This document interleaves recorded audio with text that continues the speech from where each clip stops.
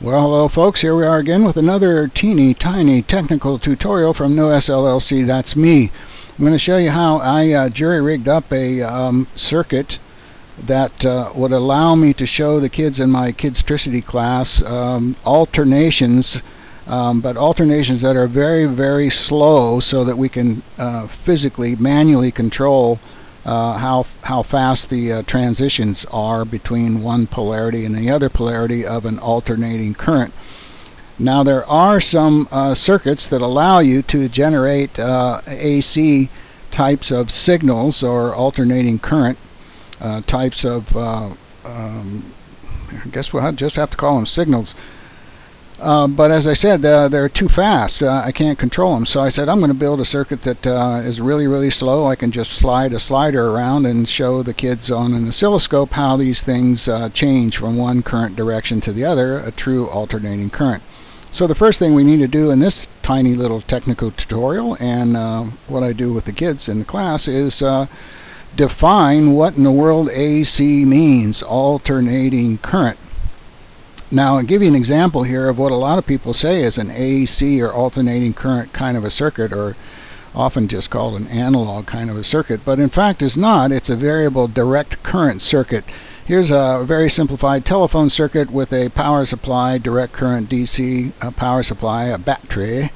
So the battery always supplies electrons out of the negative pole and they go flying around through the circuit and come back to the positive pole. So what happens here then is I have a continuous flow of electrons, current, direct current. I have a continuous flow of electrons in one direction through the circuit.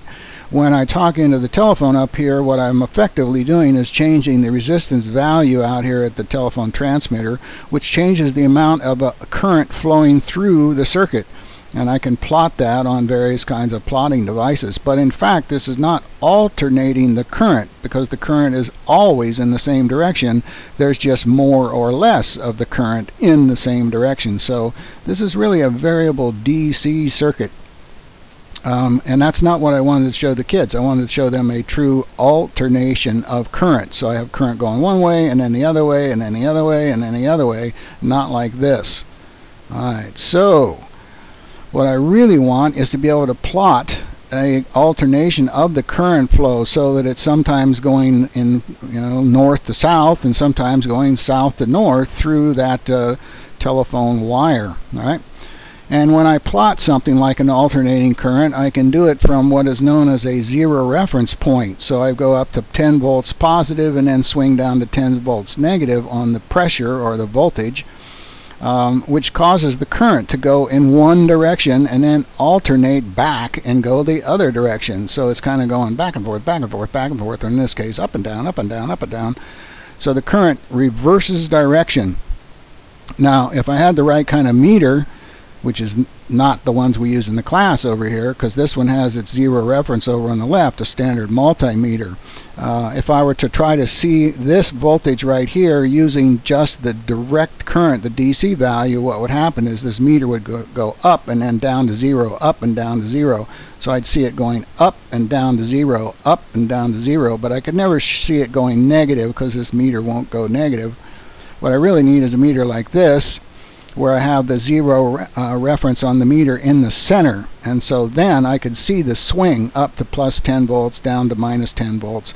That is representing the current going one direction, then the other direction, because voltage pushes current. So if I reverse the voltage, I will reverse the current.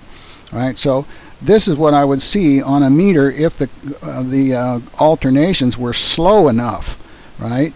This is pretty fast right here, but if they were slow enough, I could see a needle swinging back and forth. The problem is um, uh, most of the circuits that you build with the kits I use in the Kidstricity class, uh, these alternations are just too daggone fast for something like a little needle to swing back and forth. So I really needed an oscilloscope, which is what I bought, uh, to be able to run off my laptop. And that, that was my ultimate uh, uh aim in this uh, little cobbled up circuit I'm going to show you is to be able to control how quickly this moves back and forth so I can see it easily on an oscilloscope. That was my aim. Now, some people, the purists, will say, well, that's uh, you know not exactly the correct definition of AC and you know alternations and stuff like that because you could have something like this. You could put an AC on top of a DC. In fact, what that would do then is uh, make a varying DC because if I am putting an alternation on top of a let's say 10 volts right here, for example, of DC, the alternations would add and subtract from that DC voltage but they would never effectively go down, right? They would never reverse. That is, the current flow would never reverse. It would be like the uh, first slide I showed you where I have a varying DC if you were to just use a meter uh, to try to, to uh, follow these variations. So one of the things about having uh, been around for so long, I mean, I'm older than dirt, is that uh, I found that there's just a mass of confusion uh, because English doesn't explain things very well sometimes, particularly uh, from different um, backgrounds in electronics, because there are many different fields you could be working in and technically be working in electronics. And you learn a certain terminology in those fields, and uh, when you go to another field, for example, uh, uh, move from a, a, data repairman to a voice repairman or from an electrician into a telephone guy, uh, the words may not mean exactly the same thing that you thought they meant. Um, so having a very wide background in some cases like my own, uh, I'm very shallow, don't have a whole lot of technical depth on a lot of things, but I'm pretty broad. Um, it certainly has shown me over the years that uh, just trying to make sense of what a word means is often a, a big handful here. So, so anyway, this is um, AC on top of a DC. I've built many circuits that did this. But what I really want to do is uh, build a very simple circuit out of just a couple parts uh, out of this uh, SC500 kit. This is the one I use for Kids Kidstricity 2. Uh, if you have the 300 kit, or I think even the one, I can't remember if the 100 kit has the diodes these uh, light emitting diodes. Can't remember, but uh, you only need a couple of parts here, and these are the parts. Uh, a variable resistor that uh, changes resistance from this pole to that pole from about 200 ohms or so up to about 50,000 ohms, depending on where the slider is. And over here, the same thing. It varies from about 200 up to about 50,000 or so. It depends on uh, uh, which version of this uh, RV you have. They've changed them a couple of times over the years, but uh, this is close enough. Uh, you need an R1, which is a 100 ohm resistor, uh, the red and green light emitting diodes, two battery packs, and uh, what I'm going to show you here that, uh, in the circuit uh, that I'm going to build for you in just a second is I'm using a couple of analog multimeters and a bunch of uh, digital multimeters. One of the advantages of teaching these classes is I've got boxes full of these things, which I have to keep buying every year because the kids break them, of course, and um, so anyway, I've got lots of meters, so I'm going to show you a circuit here that uh, I'm going to build, and it's a very simple circuit. Uh, here's the battery pack number one. Number two, here's the variable resistor. Here's R1, the 100 ohm resistor, the two light emitting diodes, and here's all of the meters. Now these digital meters right here, I'm going to have hooked up on the circuit. So this guy is going to uh, read the voltage across R1. He's going to read the current across or through R1. He's going to read the current through this leg of the circuit. He's going to read current through this leg. And this guy is going to read the voltage drop across that one. And this one's going to read the voltage drop across that one. So that's a really simple circuit. Uh, it looks a little complicated when you see it for real. Here it is right here. Here's my battery pack, battery pack, variable resistor, R1 resistor, fixed resistor. Here's the two LEDs, red and green. Here's my um, analog multimeter that's going to read the voltage across, that's the V voltage across the LED. This one's going to read the voltage across the LED. This one's going to read the current coming through the LED. This one's going to read the current, that's the I, the intensity of the current, through this LED. This one's going to read uh, the voltage across R1 and the current through R1. So that's the setup right there. When I um, have the uh, slider in the dead center right here, what happens is uh, the two circuits, because I effectively have two circuits, I've got one here, current flow will want to leave here negative to positive, right? It's going to want to leave here, go down through here, down through here, through the meters, uh, into the LEDs and come around this way. So this is one circuit right here. That's the flow, electron flow. This one over here is uh, like this. It goes from negative through the meters, blah, blah, blah, up through the LED, through this R1 back over here. So you can see I've got one flow that wants to go this way, right? This way. And then I've got one flow that wants to go this way. So when I put the slider direct, dead in the center here, what happens is the two uh, cancel each other out because this is going to let amount go this way, this is going to let an amount go this way, and they're going to kind of bang into each other and effectively give you a zero. And you can see that right here when I have the slider in the center.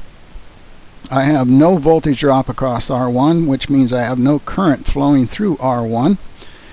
And if you look over here, LED, uh, this green LED, there's no current flowing through it. And over here on the red one, there's no current flowing through it. Um, the purest um, high-tech dudes that are looking at this right now are probably spotting that that uh, voltmeter right there has got a little tiny bit of voltage on there. Uh, that's a bit beyond what I want to go into right here. Just pretend you don't see the man behind that curtain. Alright, so let's move forward here a little bit. When I move the slider over to the left, I decrease the resistance in this leg of this variable resistor.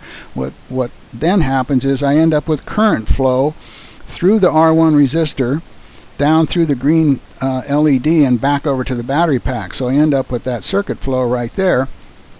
And guess what happens? I end up with a voltage drop across the R1 and current flowing through the R1. And notice it's negative voltage and negative current, right, going this direction. And you can see the current right here through this leg, right, through the LED. And you can see a much higher voltage drop across the LED. Whereas over here I have no current through the red one, right, none, so it's not lit up, although it kind of looks like that in the photograph, doesn't it? Uh, and my voltage is still over here on the pretend you don't see it behind the curtain. All right, so I ended up with current flow over here. Current flow, I can see it. Voltage uh, drop across the LED. When I move the slider over to the right, guess what's going to happen? Well, I'm going to end up with current flow in this leg over here, which is going to turn on the red LED. The green one's going to go off this is going to go up, this one here is going to go up to about 2.4, just like that one did. And this meter right here is going to boink, swing over here, uh, indicating the voltage drop across the red LED. And this is going to go back to zero, and that's going to drop back down there. And this then is going to show the same value, but it's going to be a plus. It doesn't put a plus on here. It just it just shows the the number, right? So only when it's reversed do you get the negative up here. So what will happen then is I move this back and forth, the LEDs are going to blink back and forth, you know, on, off, on, off, on, off like that, and these meters are going to swing around, and I'm going to see current coming up and down and up and down and up and down over here. That's what's going to happen. Now you can do this easily without all these meters. You can build this circuit really easily um, and verify that I've got current because the LEDs will only conduct when current is in the uh, correct direction. So even if you didn't have all these meters, you could still uh, verify that this is taking place because one will turn on and then it'll turn off as you re, uh, reverse the current flow as uh, evidenced by the current flow changes through the R1. But I want to show you uh, here, if I can get this thing to run, uh, an actual uh, operation. let's see if we can get it going here. I know the quality is pretty crappy. Hey, I'm working with no budget here, folks. Um, so there I was on zero. See, all zeros all over the place. And I'm going to start sliding this back and forth here. And you can see the LED red, green, red, green, red, green. You can see the current come up, go down, come up, go down.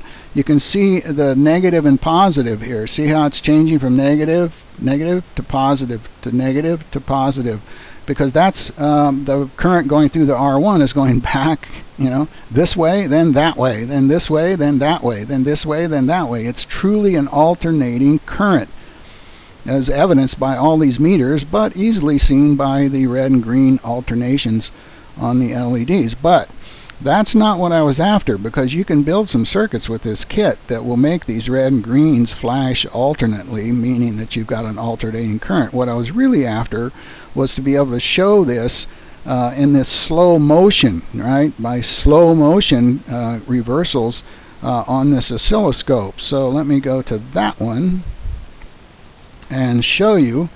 Over here on the scope I have the zero voltage reference line, zero volts right here. That's my reference line and as I start swip, uh, moving this back and forth you can see that I'm clearly moving from no volts to positive, no volts to negative, no volts to positive. And if I do this um, and, and get it synchronized, I can make this, uh, this uh, sweep hold still. And of course, it's not a nice clean sine wave because I'm pretty crappy at doing this over here. Um, but you can see it's definitely an alternating current. The current's going one way, then the other. Yeah, it's going one way, other way, other way, other way, un like that, back and forth, back and forth. So that's what I was after was some way to show this in such a slow cycling, that is just by moving this by hand, that I could see it on an oscilloscope as an AC signal. And there you go. Mm -hmm. It's pretty cool, actually. All right. So I hope that was helpful for those of you just uh, beginning to learn electronics because this is a very, very confusing um, enterprise to enter into. Um, and, and, a lot of it has to do with the terminology, for Pete's sake. Just like, you know, it's the Tower of Babel thing. You know, I, it was an old saw. I used to I used to say this a lot, and I usually forget to say it anymore. I know you think you understand what you thought I said, but I don't think you realize what you heard is not what I meant. Man, that is so true in electronics. But it also is what makes it interesting. Um, because if you could learn it all in 10 minutes, what fun would that be? Okay, if I, uh, when I, not if, when I come up with another kind of goofy circuit that I can make out of these uh, 500 kits or 300 kits, uh, I'll post another video up for you. So have fun.